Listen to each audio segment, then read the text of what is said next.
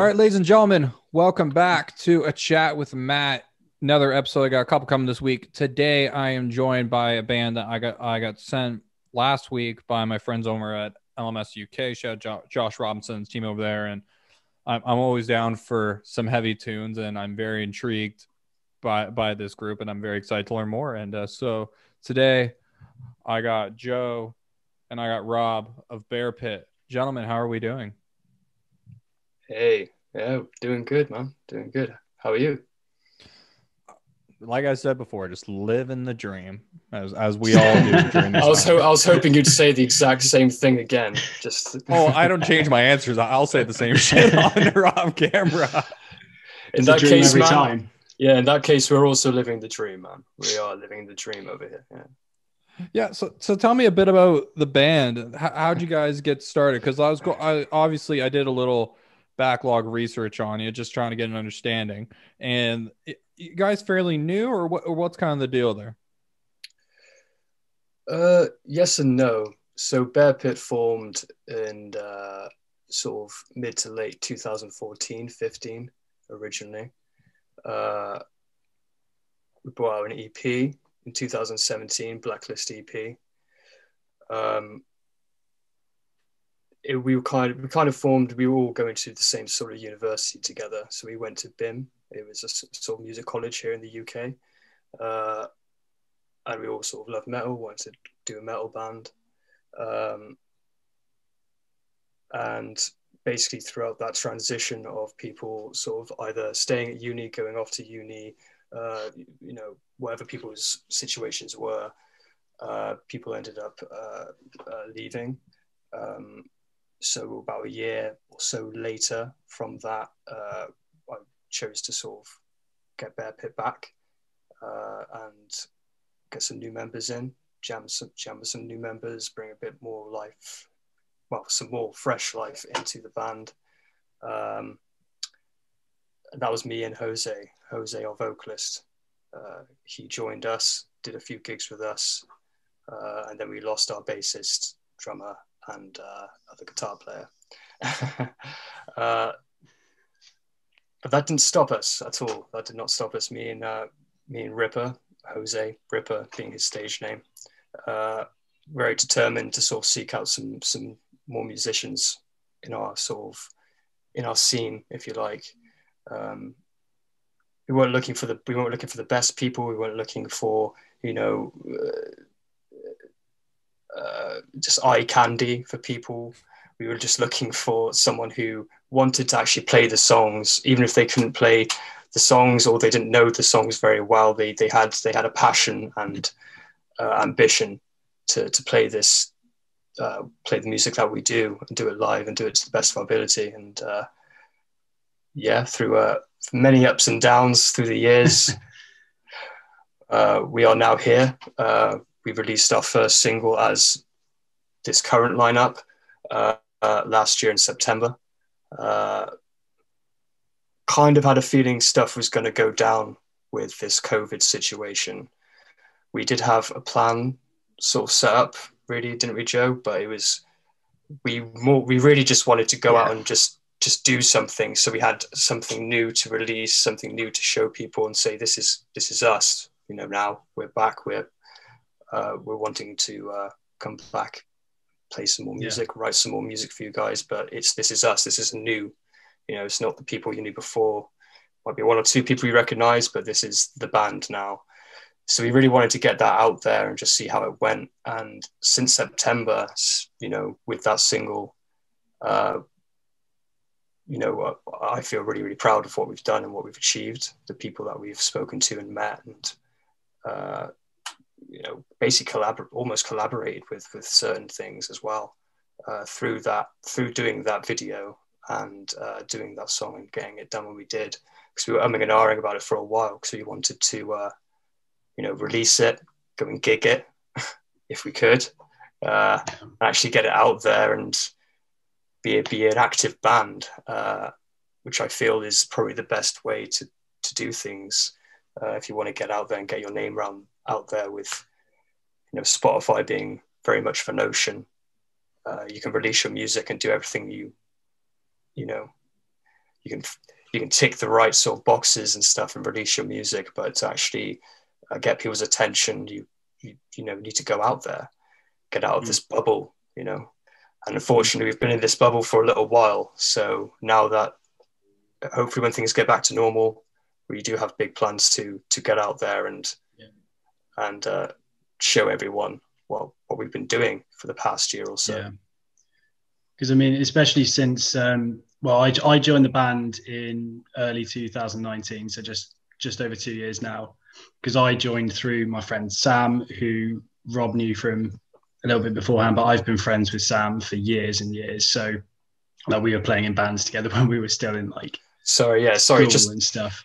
Sorry, just to backtrack. Before, sorry to interrupt you, Joe. So Sam, um, I was we were looking for another guitarist, and Sam was yeah one of the first guitarists that mainly got in touch and basically gave me a mini resume saying I, I do this i've done this in the past i can't do this but want to do that he he showed genuine interest so we met up at macmillan fest mm-hmm. i believe in bristol which was a sort of a charity event with bands uh, like an all-day event met up there discussed had a chat looked like you know things were going well so i said to him you know come and come and you know play for bear pit and see how it goes and he mentioned that he knew someone who could drum because we were still looking for a drummer I knew some drummers, but we wanted a reliable drummer, someone who, but also someone who could want to. I don't know about that. I really don't know about that, Rob. to date, that's, the that's, most that's reliable drummer. Joke, yeah.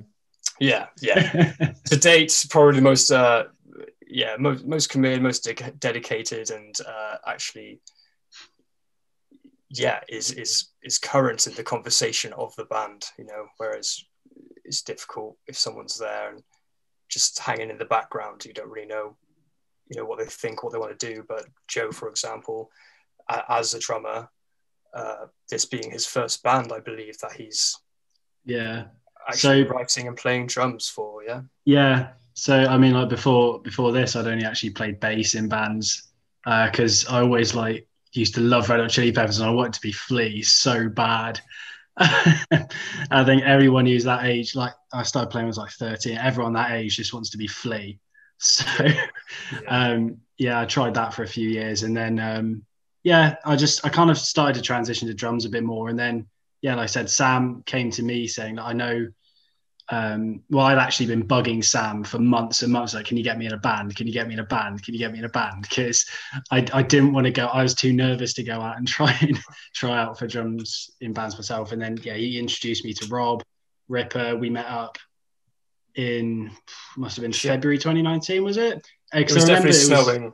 I remember it was snowing because there's that um, there's the first photo we took and it's uh, it looks really really cute because it looks like we're in a grotto or something.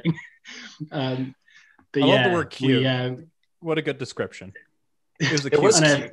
It was well, a cute bear, photo. Bears are cute, so we got to like. Rawr. Oh. Rawr. I just had some ideas for branding for you. Rawr, rawr, rawr. XD. No, it's it's it's it's wonderful yeah, from, to hear. Sorry. How? Th- no, please continue. If you have more, go. No, no, no. I was, I was sorry. I think the delays a little bit. Sorry, you keep going.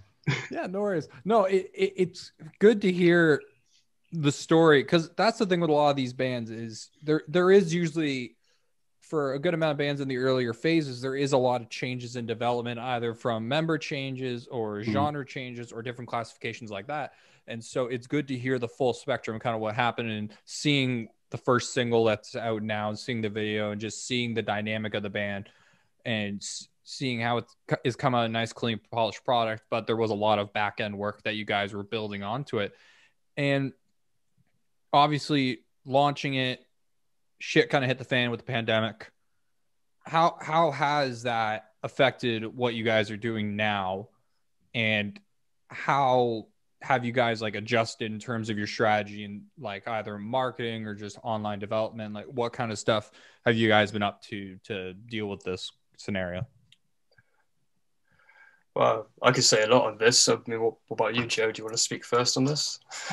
Um, yeah so i mean the, the first thing i think that every musician would say is missing gigging. I think that's the one thing that really stands out is that's what we want to be doing rehearsals and gigs yeah Yeah. Oh yeah, no, of course rehearsals as well because I mean, I absolutely love stepping on all your pedals and annoying you guys on guitar. So it's it's just, gigging it's gigging that makes the band better. Yeah, you know, uh, the exactly. more the band gigs, the, the better they'll get. You know, Yeah. and uh, not having not being able to have the opportunity to even rehearsal to go out and perform in front of an audience uh, has been sort of a little bit strange because it's almost like, well, where's the end goal here? Like, we're just kind of plodding along a little bit, kind of doing, feeling like we're doing all the right things in the right places, but it's just been such an up and down year for, well, for everyone, but for this band in particular, everyone individually has had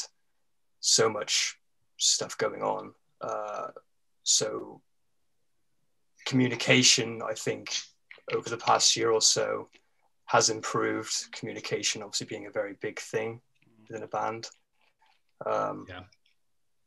We still have a lot to learn, still have a lot to improve on, but the, like the, how far we've actually come, I, I think, uh, since that early 2019, Joe, you know, it's uh, is a bit nuts. Uh, and like I said, we really we we've, I mean, Ashes is Ashes consists of really the first kind of ideas, the first kind of vibe that came about when we started jamming together.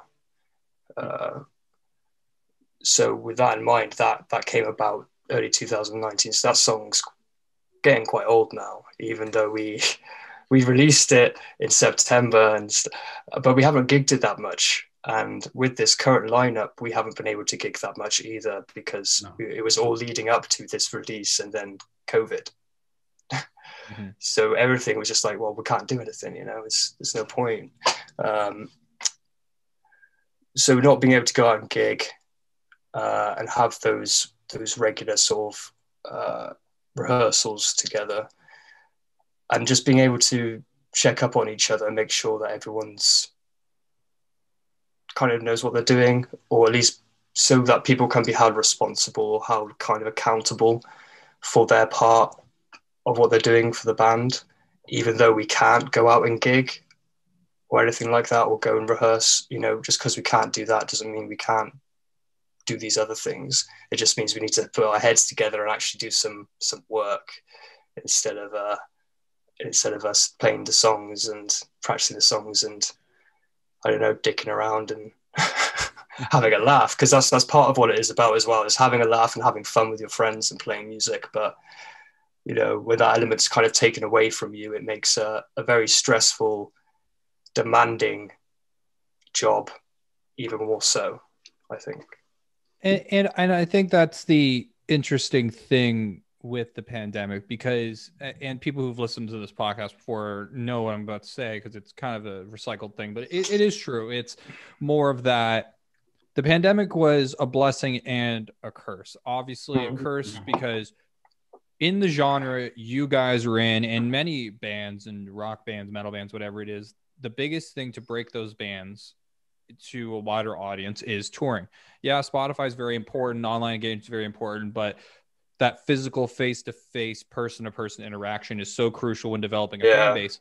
Yeah. But the issue is now you guys can't do that. So the blessing is, and you mentioned it beautifully, it was the fact that you guys are now kind of taking a step in, looking internally, building communication, building online strategy, building new strategy, building an infrastructure. Because a huge thing that young bands, and for any young bands listening, this is wonderful for you to know, when bigger companies, either management, uh, booking agencies, record labels, whatever it is, the biggest thing they look for is a team of people internally that just want to push and get the job done. And you need to build an infrastructure in order to do that. So by taking the time now, which is the blessing part of it, to actually build an infrastructure internally, work on the things you want to work on, and have the time to plan, you could create a fuck ton of content. You can develop your online persona using Instagram, Twitter, Facebook, TikTok is huge right now. Like there's mm. so many amazing opportunities to develop your online brand. And then when you can carry that out and go do live, you could potentially expose yourself to a bigger audience than you would have if the pandemic's been normal. Because, and I'm sure you've seen this in your scene, because I think it's kind of just a thing that people see in scenes in general. It's that stereotypical kind of okay, we're gonna post on Facebook. Doors are at seven. We're on at eight. Okay, so Yeah, man. But where's where's the personal touch though? You need to have exactly. by going out and touring and going out and gigging. It's like, yeah, you you're up there for half hour, forty minutes, maybe playing your music, but the rest of the night, the rest of the time, between loading your stuff in, loading your stuff out, you know, Mm. it's an opportunity to meet people and talk to people. And if there are people that Mm. are digging your band or people that dig, you know, have come down to see your band, that's the opportunity to have that one on one with them and make that personal sort of connection with them. They'll remember that. Whereas, you know, now with past year or so, we've had to just rely on, you know, just sending them a message like, you know, here's the music video, here's all our links, here's everything, you know, it'd be amazing if you could check us out, you know, or, you know, share for share, like for like, um, try to get on playlists, etc., etc. If it, it's, it's a necessary evil, I think, but where's the personal touch? That's not going to get, without that personal touch, without, you know, showing that audience, your audience, you know, what you're about really, it's very, it's, it's, it's difficult to connect and to get traction and, and build uh, without gigging. Yeah, and just to kind of segue onto that, it's the the best way I can describe that and what you said is personal, and that's a big thing I push across everything I do. Authenticity works. Authenticity connects. And and a basic economics and psychology lesson is that I push to everyone is when you are trying to sell someone something, they're more likely to buy something from you if they know you and like you as opposed to immediately trying to sell something off the bat. And that's why developing an online persona, talking to the people at those gigs, putting your personal touch into the content you create and the personal engagement you have with people, it allows people to get to know you and want to connect with you. And then when you have those connections, they're more inclined to stream your song, pre-save your song, share your video, like your video, buy tickets, buy exactly. merch. and Yeah. Eventually it turns into an actual monetary conversion. I mean, that's why when LMS kind of got in touch with us, we thought it'd be a good Mm. idea to at least try and work with them for a little bit on our social media presence.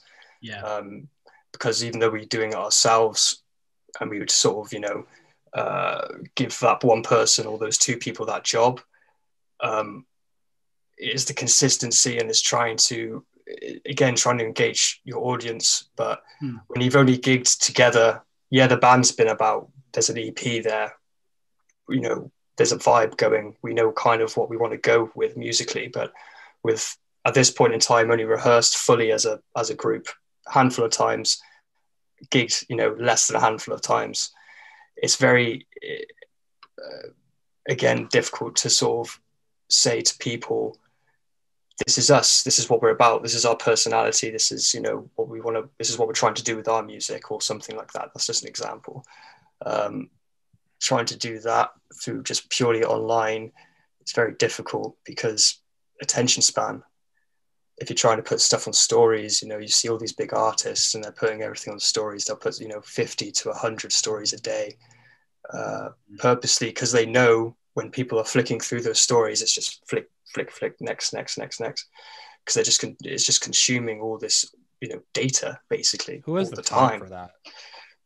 Has no one no one no one anymore. Hey, this I is my point no one does anymore. Like there's very there's very few of my friends that i still that i have now that actually sit down and listen to albums now. You know they, they won't sit down and listen to an album uh willy-nilly you know whereas i i love doing that. But it's the when it comes to music and when you're just sort of being bombarded with content all the time you know uh, it can either be music or it could be art or it could be anything visual or anything even if it's something like a clothing brand something like that people just you know all the time trying to sell you stuff. They're trying to sell you stuff whether it's you know clothes or their music.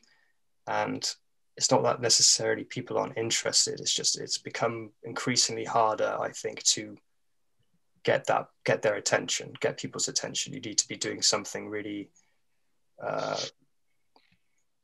really wild to get that that that traction going and to keep it going. Uh, um, which we, we have plans to do but uh, when we get back when we get back to it uh, Mm. to our rehearsals again when we have full rehearsals we'll know we'll know we'll know the score. We'll know what's going on. And and Joe, how's this all been kind of affecting your role in the band and what you've been doing and everything like that? Yeah, so I mean, it's it's it's been interesting because before the pandemic, I think what I've realized since then, sorry, is how much I kind of didn't know about about what maybe I, I, could do and maybe stuff I just hadn't really tried. I mean, um, I mean, I, I obviously I, I knew kind of had a drum when I came into this band. I like to think, but um, so that's not been a problem. But some of the things that I've I've learned I've had to learn just because we've not been doing things in person. So because we can't obviously write in person, learning new stuff on say drum programming, which I've been able to teach myself.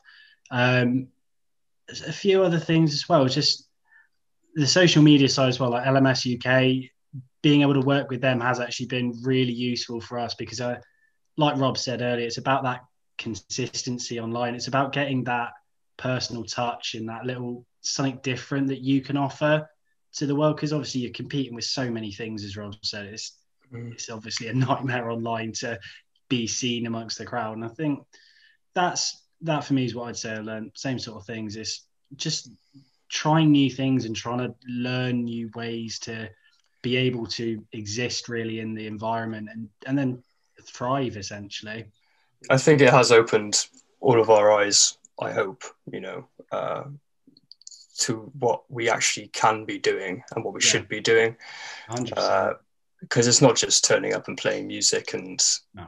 remembering your parts and practicing your parts. It's uh, I mean, if you want to be taking, I mean, go out and play music. Anyone can go out and play music and enjoy it and have a good time. That's great if that's what you want to do. But if you want to be doing it and uh, trying to, you know, get some sort of traction and getting bigger with either yourself as an artist or with the, with the band. Hmm. Um, oh, what was I going to fucking say? No, I, I get exactly. What was I saying? I what was I saying, Joe? A business. That's it. That's exactly what I was going to say. So these Joe, days, check your notes. check your notes, Joe. There you go.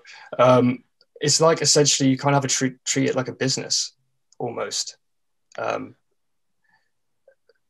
like a like a clothing brand or something like that. Like mm. uh, giving people just some some some sort of content, something to look for. Like we've got idea, we've got these ideas for merch. We've got merch basically nailed down now, but mm. we haven't gone ahead and done it because we want to have everything else ready first. So when everything drops, we can drop that, and then we can drop the next, and then we can drop the next.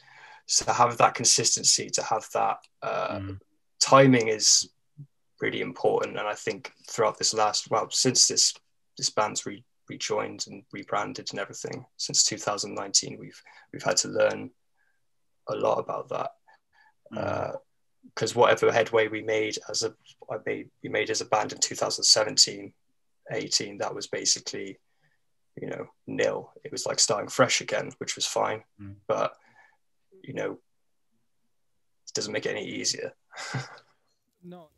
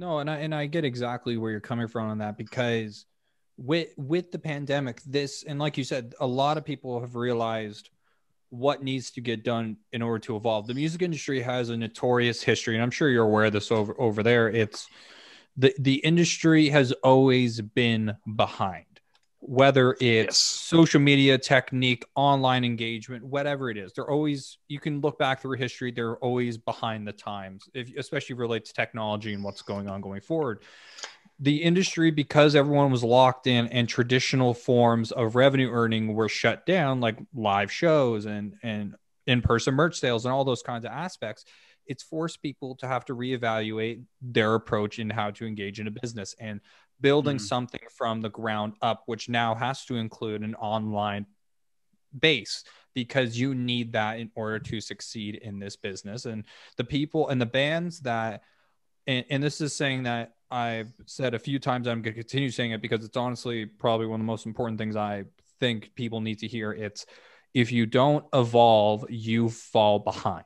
And especially mm-hmm. in the time right now when live shows are starting to come back and people can actually go out and start touring again, there's going to be two groups of artists. There's going to be the artists that go back to doing what they were doing before, kind of following the same path, getting away with just posting mm. my shows at eight, come by, versus the bands that are like, okay, consistency in content, consistency in pushes, consistency in drops, consistency in touring.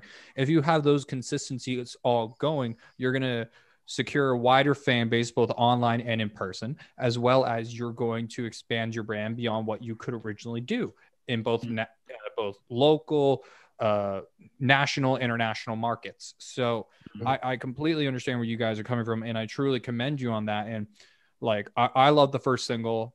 Uh, i'm going to play it at some point in this episode. I may have already played it. I may have not already played it because i'm just going to slice it in somewhere. But the song is great. It has a lot of potential. I'm very curious to see what you guys are going to do, especially when you can start doing live stuff. Mm. And it's good to see. We're excited. We're really, pumped. it's good to see that you guys are really focusing on that online development and just working on making sure you have a tight ship because it, it is a business. And if you want to be a long-term successful band, you're you have to approach it with a somewhat business attitude. It's about the art through and through. And at the end of the day, the song is what's going to sell but you do have to keep in mind that in order, if you want to do it for a career, you gotta have to think, okay, how can I make this last? I need money in order to make this last because I kind of need to buy things like food and rent. Exactly, and yeah. Any other expenses. And these are things that I, I had in mind way, way earlier on before even considering uh, sort of getting this back up together again. Hmm. Um, mm. Was literally uh, just having that attitude towards that. All right, I've got a fly stuck on my fucking.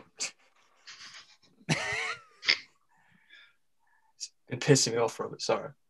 no worries, no worries. What was so, I saying? How... What were you saying before? Sorry, what did you say before? Oh, I no, wanted to comment about... on that.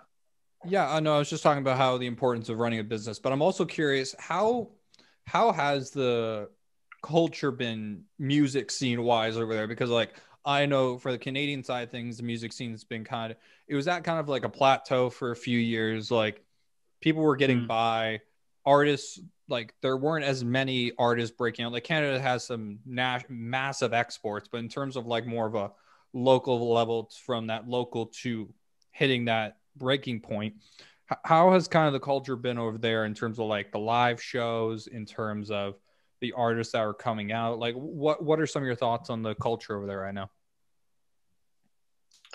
Well, the, the music culture over here in the in the scene, you mean? Yeah. Well, yeah, um, a lot of great bands actually. I've yeah. discovered this past year, um, which I, you know, I had no idea I didn't hear before.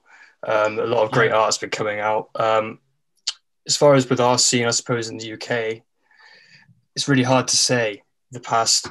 I mean, thinking back to going and being at a live show or watching a band, it feels so alien right now.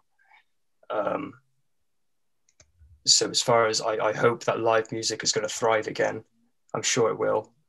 Um, you know, very soon. But I think there's a lot of a lot of people, a lot of built built up frustration from people, and that is creating uh, really really good art Yeah. Uh, but unfortunately, you can make really, really good art. But if you're say you're you're making this art with you know three, four, five other people, uh, and trying to release it as a band, and going back to looking at a band as like a business these days, they these guys are also your business partners.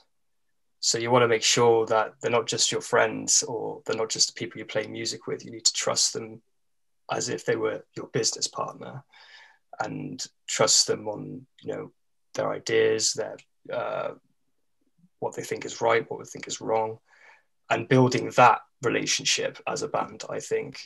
Because having that frustration of being apart uh, we are a bristol based band but i'm i live in gloucestershire uh, so that's about 40 45 minutes maybe to an hour from bristol.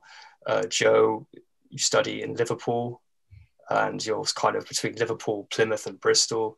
Ripper, Dale, and Sam are in Bristol. So that, that frustration of not quite being able to get all together at the same time and communicate in person has kind of had to, it's forced us to have to communicate like better online and get our points across, uh, get our plans across to one another, make sure that people and everyone's under, on the same page and understands one another. Mm. Uh, and that's very important, I think, for an up and coming band. As much as it would be great that we could have gone out and gigged a lot this year, uh, and possibly if you know gotten more recorded music, uh, I think you know because of all this, our communication and our actual relationship as a band has become a lot stronger. Mm. So going forward and working together, I feel will be you know like I said, I'm I'm very pumped for it very excited for for the new, yeah. new stuff that we're working on. It's gonna be good. Definitely. Uh, uh what do you think is going to be? Because something I've been theorizing a bit, and I think this is going to carry over in a variety of different markets. It's a concept of kind of like a live renaissance, in which, like, I'm comparing it to attendance at shows before on a local level, like the local support, either the shows are doing well, or they're kind of doing okay, versus mm. after when people can actually go out and do shows again like obviously there's a large percentage of people or a good percentage of people that just want to go out to shows and i think there's going to be a period of time where live shows on all levels are just mm. going to get a bigger push in terms of attendance and i'm very curious do you guys think that's going to be something similar over your way or is is the population kind of like more just wanting to be safe, or is there like that craving of for fuck's sakes, let me go to a show? it's all three, man. It's all three. It's all very. Uh, you're all up here in your head, and you're just like, I don't know what to do. So mm. they'll probably just end up staying home and watching Netflix, and going, "Oh, I, I could have got to watch that band." Never mind. Mm. Yeah, I, I for sure, I'm I'm absolutely going to go back to shows. I'm I'm so looking forward to it, and I know so many people that are as well. Whether or not once, I, I mean, I'm I'm not sure at the moment. Really, at what point I'd be comfortable going back to shows? I mean, at the moment, definitely not. Obviously, the regulation, well, the kind of restrictions in England at the moment, everything's still outside. Um, stuff should be going inside again, sort of mid-May. So we're hoping. It's all very vague, isn't it? It's all very, very vague. I mean, as far as attending shows and stuff like yeah. that, no one knows what the hell to expect. No, but uh, obviously we're very excited for that, and I know I know plenty of people that again, as soon as they find out a good show will be on. I mean, I'm pretty sure that um, there was a show in Bristol where it's um, every time I die. That that that's for when it, I think it's in mid 2022 and that's already sold out. Mm, so I, yeah. I, think that gives an idea of how many people are really looking forward to shows, and that's at that's at SWX, I think, in Bristol, which is probably one of our bigger-ish venues. I mean, the Bristol it's music, now, yeah. the Bristol venues. I'm looking forward to getting back to Exchange, Fleece. Shout out to all those guys, Louisiana, uh, Thekla. I mean, the list goes on of the amount of places I've missed going to for shows and missing live music. So yeah, I think I personally am really looking forward to it. And I think talking to people, I think everyone else really is looking forward to getting back. And it's just yeah. when I when think- that I is think- really. I think there's going to be there is going to be an anxiety about it for a while. Yeah, for with everyone. But uh, the, if you love music, you know you, you'll go to a show if you if it's Yeah. if it's possible and if it's if it's Yeah. going ahead and it's safe and you're making sure that you're staying safe and you know other people Mm. around you. They, they'll they'll they'll find any excuse to go to a show. Yeah. You know, if it, if it were me, you know, Yeah, hundred Um, percent. Because I think the music industry in this country has been because of obviously because of the pandemic. I know we keep having to bring it up, but because of that, the music the industry p has word. It's just been completely destroyed. And um, I think everyone wants to be able to help out artists here because they they're the ones who've really suffered during this. So that's I'd, I'd like to think that people will come together and chuck a bit of money at the music industry because we we fucking Yeah. need. well, especially for the, the local bands and the smaller bands, you know, that are still going. Because Mm. you know, there's been a lot of bands, smaller bands that are, are still going now, but a lot of bands that have just they've folded, you know, and just decided it's it's not worth it because it's Mm, it, it is an uphill struggle. It is a battle, and you have to constantly, as you as you were saying earlier, kind of evolve and adapt um, to what's going on around you socially and economically. So it's not for everyone. It's if you know, it is it's it's you know, pretty it can get pretty disheartening over the past year, but. You know, just because we want, we know that live music will come again. It will be there again because we know that's going to happen we keep working and we just want to be as ready as, and, as we can for when we go back out there. So for people who don't play in a band and just love the music, I don't see why they they couldn't just go and pay a fiver to go see a night of local bands. You know what I mean? Like, mm. I mean, it's all very well paying, you know, 30 to 40 quid going to see us, you know, go to arena or stadium with, you know, 30,000, 20,000 people or whatever. That's cheap. But yeah, really. you mean like a hundred quid, mate, at least. hey, mate, I'm not the accountant. You're the accountant over there.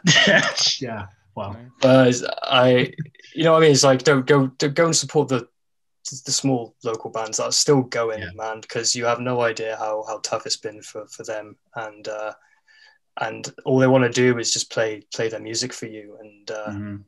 they want you to have a good time from it. You know, uh, that's all they want to do. They want to, yeah, just bring music to, bring good music to you. That's all they want. Yeah. So go go and support them because Yeah. unfortunately, if if if that doesn't happen, you know, and eh, you know, bands just can't survive otherwise. Um, every band Yeah. was once a local band, so Yeah, yeah, and that's that's the aspect of it that a lot of people don't realize. It's so many bands have kind of fell through because of this, and whether it's because time constrictions, COVID restrictions, financial constrictions, whatever it is, and it's so true that the development aspect for young bands is so tough right now because the stuff you do to break it most of that's gone and now it's kind of just that evolve period or you kind of have to do other stuff and that and that's why it's so great to see people starting to create online content and like just trying to put themselves out there in different ways to connect with the Mhm. audience that they can't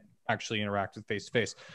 I mean, on the artistic standpoint, though, on a more positive aspect, Mm. some of the music that's going to come out once people are ready to start touring again is going to be fucking gnarly. There's going to be some sick ass music coming out. Oh yeah. There's already a lot, a massive, massive amount. I mean, we've got a we've got our own Spotify playlist, and, and the amount of bands we've added recently that we've Yeah. we've never heard of before, and Mm. uh, you know we've just heard on a stream or whatever, Yeah. or just found just found randomly on Facebook. You know, it's really a lot of talent out there, and a lot So of much. bands, a lot of bands that really want it and they they really want to push for it, but that you know they're struggling. People, we're all struggling. It's uh, Yeah. So to, you know we've got to help each other out i think you know. Everyone's everyone is in this together in a sense you know and it's help each other out. Everyone wants the same thing. Everyone just wants to get out there play music for people you know sell some tickets make some people you know happy uh sell sell some t-shirts so you know hopefully sell some music but that's uh you're not going to make much from that these days. So you know t-shirts mainly uh but mm. yeah, I don't know. I have no idea what live show is going to look like. You know, people are thinking, you know, maybe they'll bring out the Zorbs, absorbing when you're like a, in a massive bubble, and You're just gonna have to go to the bar, get a drink, and just. you The know, mosh pits would be fun. I was thinking, how are you gonna hold your drink? Yeah, like- it'd be- Listen, Mosh drinks go flying anyway. What's the difference? Yeah.